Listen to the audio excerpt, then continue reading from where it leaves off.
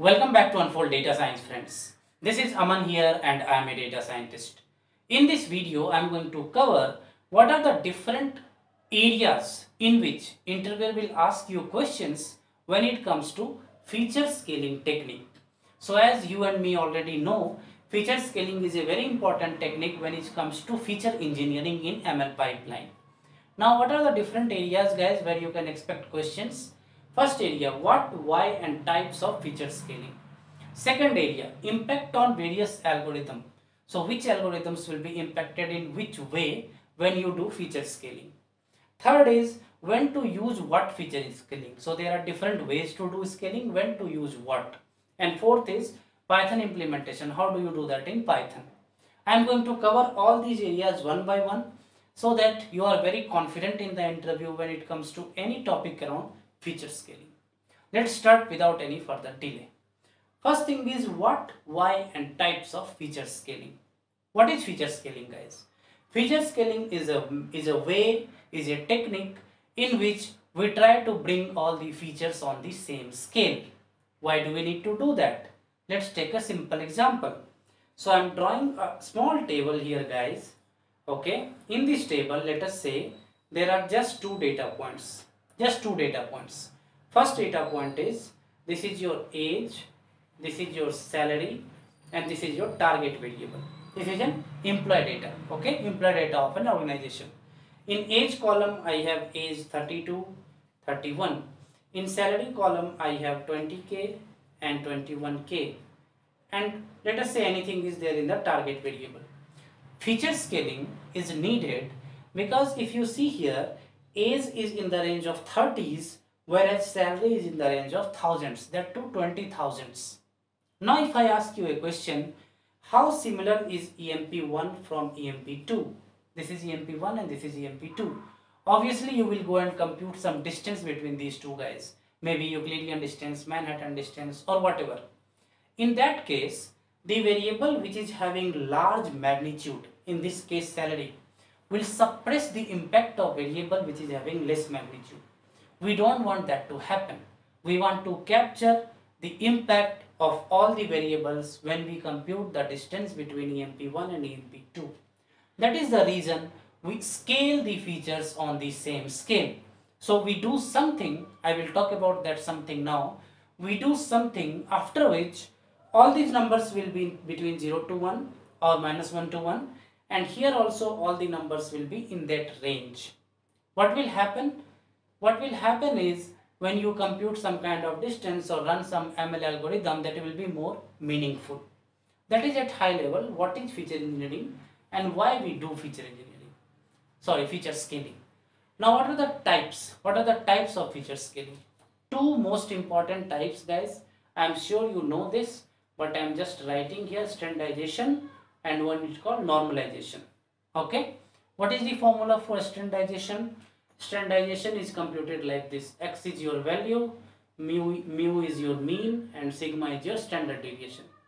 So all your observations will be transformed like this if you do a standardization. If you do a normalization there are two types of normalization. One is x minus minimum of x. Okay minimum of x divided by maximum of x minus minimum of x. Okay? This is called your min max scaling. Okay? Min max scaling. And in place of minimum of x if you put mu here or mean here that is called mean normalization. But mostly keep it very simple. Remember standardization and normalization. In standardization x minus mu by sigma. In normalization x minus minimum of whole observation and denominator will be max of x divided by mean of x the range of that column basically. How these two formulas are different guys? In first one if you see you will get in the output you will get numbers which is in normal distribution with mean 0 and standard deviation of 1 in second one you will get numbers between 0 to 1 that is what you will get as an output. If you run these two on any two columns, these columns, okay. These are two main ways of doing feature scaling or normalization and standardization, fine. Now come here, impact on various algorithm. So suppose I'm using a linear regression or I'm running a deep learning model or I'm running a support vector machine or I'm running a k nearest neighbor or k means clustering. Do I need to do feature scaling always? Let us do, let us categorize in three buckets, okay? Three buckets, bucket 1, bucket 2 and bucket 3. Bucket 1, algorithms where you must do feature scaling. If you don't do feature scaling, your results are going to be very very drastically wrong. Okay? What are these? These are some of the algorithms which computes distance. For example k nearest neighbor. For example k means clustering. These are some of the algorithms which is based on distance. Like i gave example here you have to compute distance between emp1 and emp2 euclidean distance. What is the formula? X2 minus x1 whole square plus y2 minus y1 whole square under root. Distance. You must do feature scaling. Otherwise your answers or your findings will be totally wrong. That is category 1 of algorithm. Category 2 of algorithm. Suppose you are running a deep learning model or you are running a linear regression or you are running any logistic regression where gradient descent is working okay i have explained gradient descent in detail in this video you can watch one more time if you have any doubt on gradient descent suppose gradient descent is running what happens? The features, the weights are optimized to reach a global minima, right? Now suppose features are on different scale. What will happen? The learning rate or the step size of gradient descent will get impacted. What happens if we don't do feature scaling? Still the minima will be achieved. Still the algorithm will, will work. But you know, it might take more iterations. That is number one and it might be more efficient if we do feature scaling. What kind of algorithm I'm talking about? All the algorithm where some kind of optimization, some kind of gradient descent is running in background. Now you must be aware which are those kind of algorithms that I am putting in category number 2.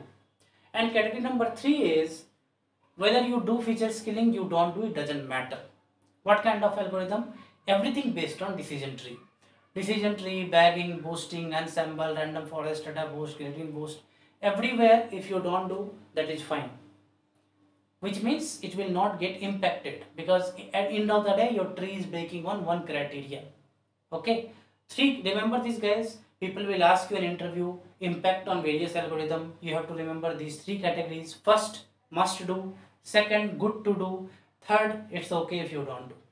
That is about what kind of impact on various algorithm when to use what? There is a lot of uh, questions around this. So i have discussed standardization normalization. When to use what? I am running a, a normal artificial neural network. What should i do? I am running a, a let's say normal linear regression. Which one shall i do? Basically what i have observed is in in ml or parametric models right basic models i'm talking about linear regression logistic regression some kind of uh, basic models, parametric models, lasso, ridge regression, right? If you do standardization, right, where your data comes into some kind of Gaussian form, that is going to perform better. For basic machine learning algorithms, parametric models, assuming some form of the data, standardization will do better. However, if you are running some kind of deep learning models where you want to optimize the weight quickly, you want to, you know, run your algorithm multiple iterations, normalization works better. That is what I have seen at least in the observations I have run. Second thing you should remember is in standardization there will be no impact of outliers in your data. Now look at this formula guys. If there are outliers in your data then your denominator will be totally screwed up. And hence all your uh, values new values will also get screwed up so this is badly impacted by outliers so remember this another point.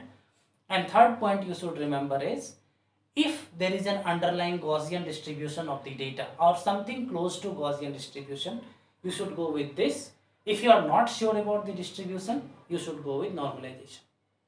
That is three, four points that, that you should keep in mind. Again, uh, regarding any hyperparameter, regarding any uh, tuning things in machine learning, it's all depend on data and how we run various iterations. This might be true in other case, one might be true in other case like that. That is about three major areas that interviewer will touch you when it comes to feature scaling. One of the one of the favorite topic of interviewers in the interview. Next thing, Python implementation. How do you do that?